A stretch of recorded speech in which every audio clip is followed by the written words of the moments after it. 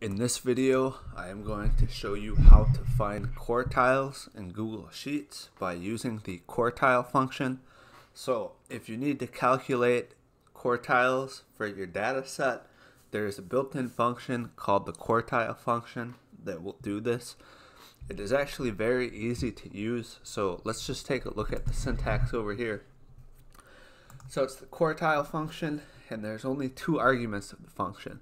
The first argument is data, and this is the array or range containing the data that will be used to find the quartile.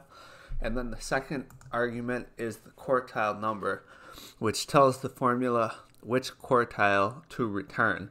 So there's five options that you could put in this uh, argument, and it's zero through four. So if you put a zero, it's going to return the minimum value of the data set, which is the data that is at the 0% mark. If you put a 1, it's going to find uh, the data that is nearest to the first quartile, so at the 25% mark. If you put a 2 in the function, it will return the data that is nearest to the median or the data at the 50% mark. If you put a 3 in the function, it is going to return the data nearest to the third quartile which is at the 75% mark. And then if you put a 4 in the function, it's going to return the maximum value in the data, so at the 100% mark.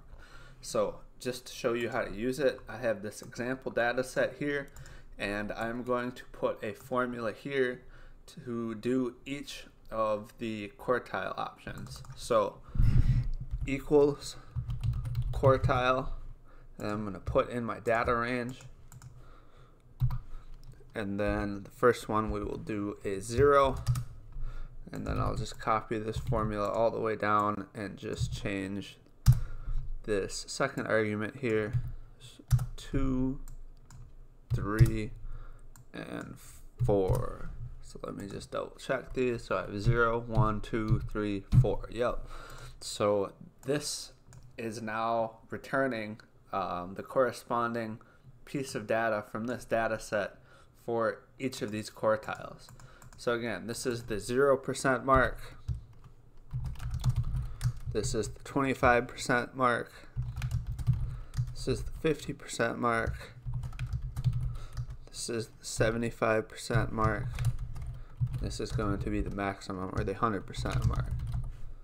And you can see in a matter of seconds with the quartile function, I can return each of these um, quartiles for this data set. So hopefully you can see now why the quartile function is useful because it's very easy to do. Um, just let me know in the comments as always if you have any questions. Thank you for watching the video. If you haven't already, make sure to hit the subscribe button. If you have any questions or content suggestions, just let me know in the comments and I'll try my best to answer everyone.